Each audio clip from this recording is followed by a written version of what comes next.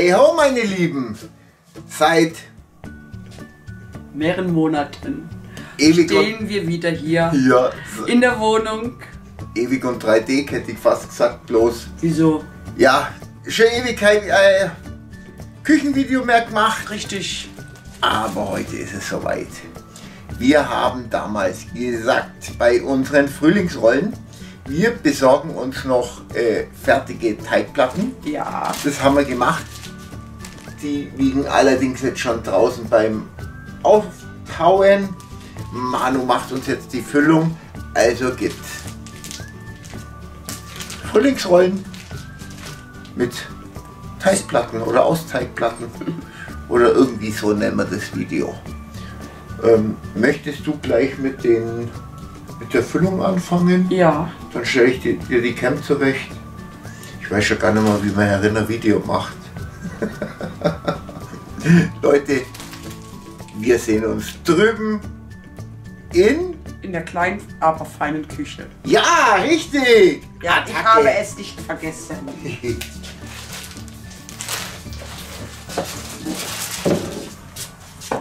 So, hier ist die kleine Übersicht. Tiefkühlasiatisches Gemüse. Drei Hähnchenbrüste. Ein Weißkohl. Und vier Möhren, aber ich weiß noch nicht, ob wir das die komplette vier Möhren reinmachen. Werden wir sehen. Ja. Und bisschen Sojasauce. Drei Zwiebeln. Und geschmacklich diese Teriyaki-Soße noch. Vielleicht tue ich es rein, vielleicht auch nicht. Und Bambussprossen mache ich auch da rein. Genau. Bin ich überflüssig? Überflüssig. Das, das ganze Gemüse, was zum Schnippeln ist, tue ich jetzt ein bisschen klein schneiden und dann sehen wir uns gleich wieder am Herd. Gut.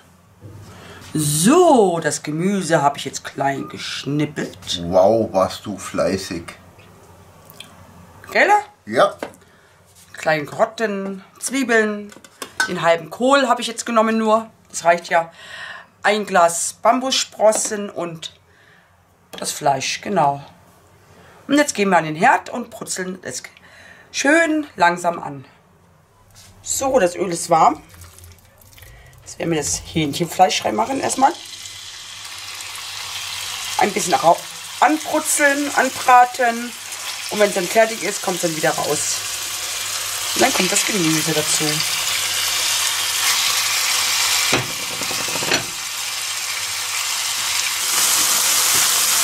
So, das Fleisch habe ich jetzt schon angebraten. Und jetzt kommt es wieder raus in die Schüssel. Noch ein Öl rein.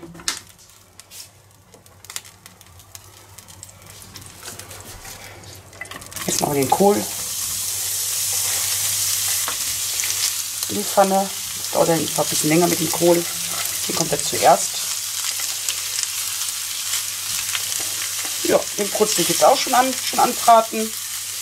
Dann hole ich euch gleich wieder zu, wenn er fertig ist. So, der Weißkohl ist ein bisschen angebraten. Jetzt geben wir die Zwiebeln schon mal dazu. Die gehen auch noch ein bisschen Flüssigkeit ab.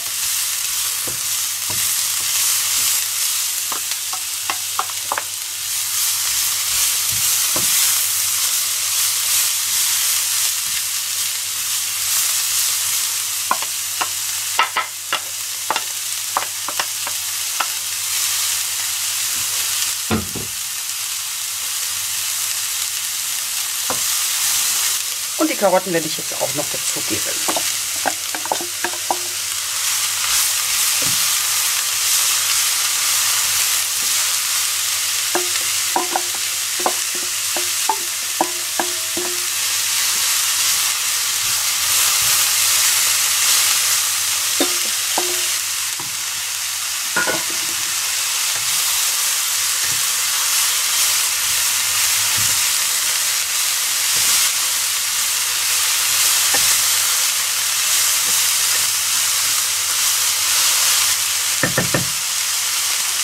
Brate ich jetzt schon an. Dann hole ich euch gleich wieder zu.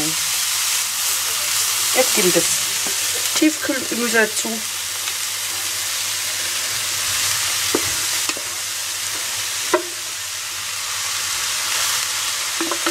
Oh, riecht das lecker. Da komme ich sogar aus meiner Computerecke raus.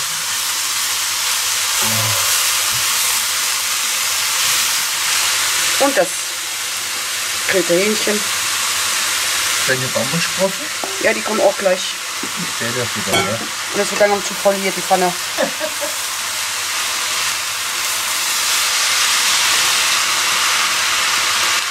Und natürlich die Bambussprossen auch.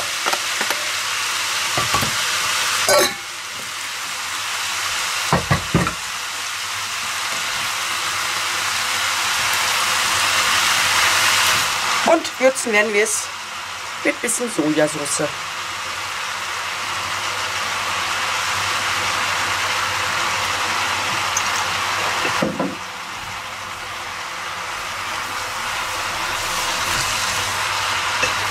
kann nämlich das alles schön vermischen. Anbraten. Die Flüssigkeit zieht ja ganz schnell dann weg. So, das Gemüse mit dem Fleisch ist fertig. Und jetzt lassen wir es ein bisschen abkühlen. Und dann geht es gleich drüben weiter mit dem Blä Teig. Genau. Mit den Frühlingsrollen rollen. Genau. Oh, schmeckt so lecker. Ich habe gerade Probiererle bekommen. Da drin ist nur Sojasauce, mehr nicht. Da braucht es nicht mehr. Nee. Richtig, richtig lecker. So Leute, jetzt darf ich mal wieder, also ich zeige hier jetzt nochmal die Verpackung von diesen Teigplatten. Und äh, ich probiere das jetzt einfach einmal, Ganz vorsichtig. Sieht Ja. der Hauch dünn. denke ich mir. Wenn sie dann schon auseinandergehen. Das erste auf jeden Fall. So. Nimmst du mal den Teller gerade weg, bitte? Ja. Dankeschön. Löffelchen brauche ich noch. Und dann tun wir hier die leckere Füllung erst einmal hier drauf, ein bisschen was.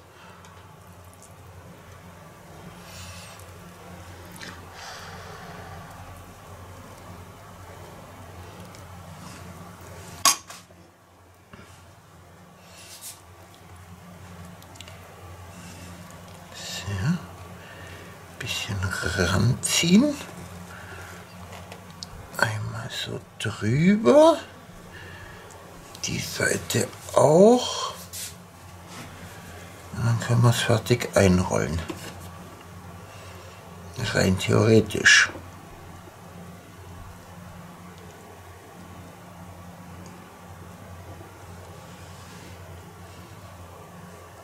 So, mein Pinselchen. Und dann mit ein bisschen Speisestärke einpindeln.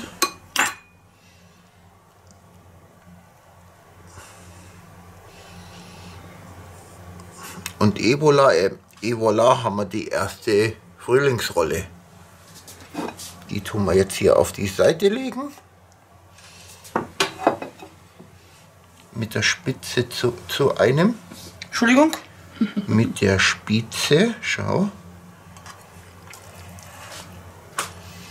Dann tun wir wieder so ein Löffelchen nehmen.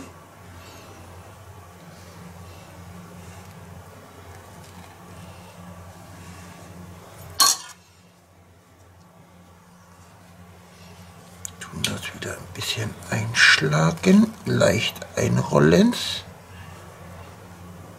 Dann einmal rum und numm.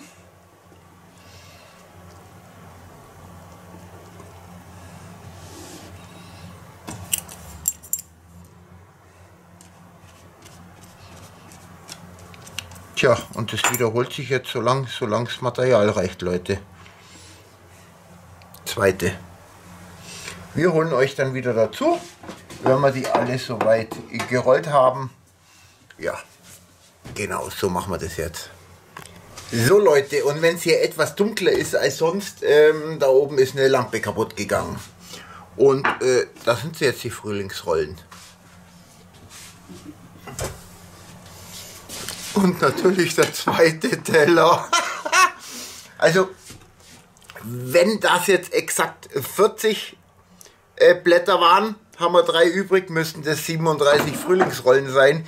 Ich zähle sie jetzt nicht nach, aber eins kann ich definitiv schon sagen. Leute, so geil die Frühlingsrollen zum Rollen. Richtig, richtig geil. Top, schnell, gut, genial. Und jetzt Fritteuse anfeuern, anheizen, anfeuern, anheizen, äh, was sie schon macht. Und ja, dann legen wir die ersten rein. So, meine Lieben, auf 170 Grad vorgefeuert, äh, angeheizt, vorgefeuert, egal. Und du, Handy, halt jetzt die Klappe. Und jetzt fangen wir mal mit dem Teller an. Spatzel, du legst mal gleich am Teller mit ähm, Zewa. Zewa aus. Ich habe aber keinen großen Teller mehr. Dann nimm doch den, wo noch die drei Teigplatten drauf sind und tu einfach die Teigplatten runter. Ja, stimmt. Und dann schauen wir mal, ob das hier was wird. Ich hoffe es auch. Ich habe schon so cool Dampf. Reicht eine Ja. Ja, erst einmal. oder Ja. zwei.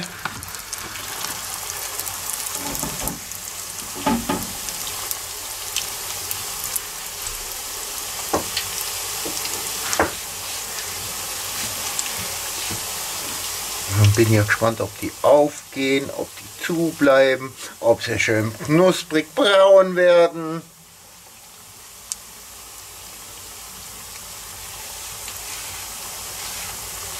Wo ist denn mein Schnapp, Schnapp? Oh,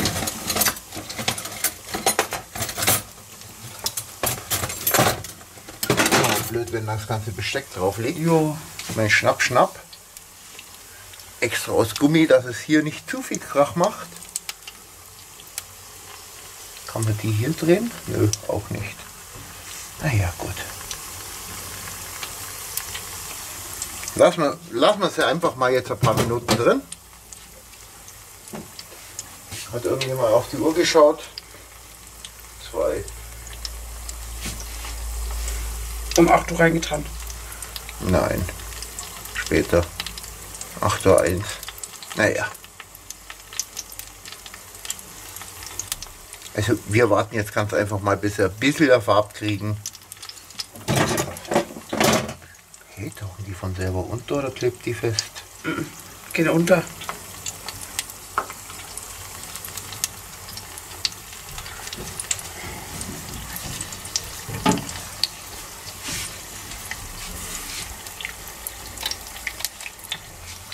Zwei, drei, vier, Stück. Also in der nächsten Runde tue ich glaube ich mehr rein.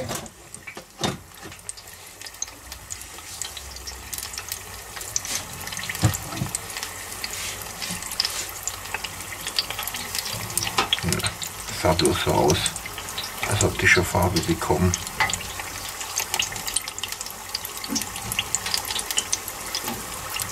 Also Leute, ich frittiere die jetzt fertig. Und wenn wir sie rausholen, holen wir euch auch wieder dazu. Sechs, sieben, ja, sieben Minuten sind die locker jetzt schon drin. Aber haben immer noch nicht die gewünschte Farbe. Aber ich glaube, die kommt jetzt gleich. Und wenn nicht, erstmal sie so.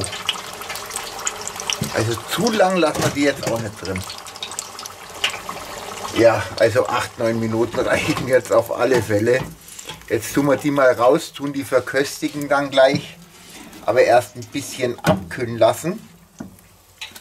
Und ich drehe jetzt noch die Fritte ein bisschen höher. Und guck, was dann mit der nächsten Ladung passiert. Aber knusprig sind sie schon. Ja. So. Nächste Ladung rein. Drehen wir mal auf 180 Grad hoch. Ja, und äh, Leute, wir sehen uns gleich beim Probiererle. Und dazu haben wir wieder unsere Sweet Chili Soße, die so lecker war. Ein kleiner Tipp von mir. Die Soße in einen Eierbecher. Ruhe. Dann kann man die nämlich schön eintunken. Was machst du? Ich verbrenne meine Finger. Dann ich mir gleich die Gosch.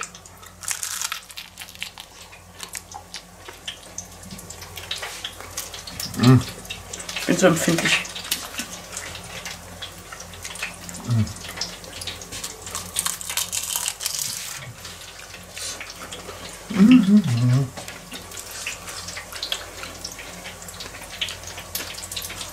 Und definitiv,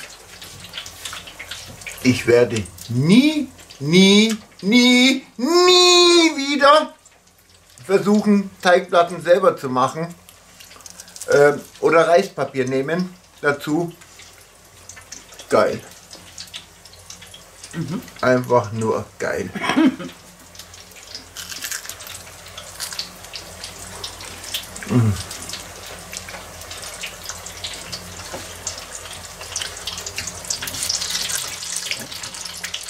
Sehr, sehr lecker.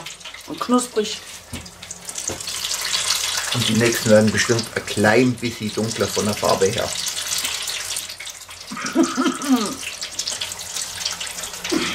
Ich glaube, da hat sich jemand die Gosch verbrannt. Nein? Aber wir haben jetzt probiert und sehen uns nachher noch zum Fazit. Bis gleich. Genau. Oh!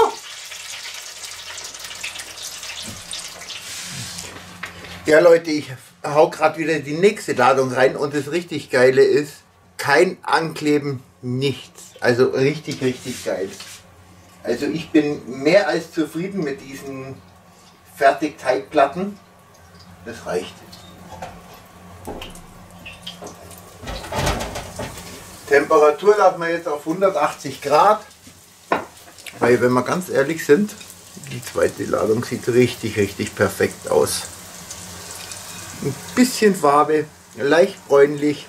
So dunkel müssen die ja nicht werden. Hauptsache knusprig sind sie. Bitte schön, mein Engelchen. Und jetzt wirklich nachher Fazit. Fazit. Fazit. Leute, äh, definitiv kauft Platten, kauft ge- tiefgefrorene Platten. Besser kann man die Frühlingsrollen nicht machen. Richtig. Vergesst es selber, Teig, Teigplatten zu machen. viel zu viel Stress, wird eh nichts. Meine persönliche Erfahrung.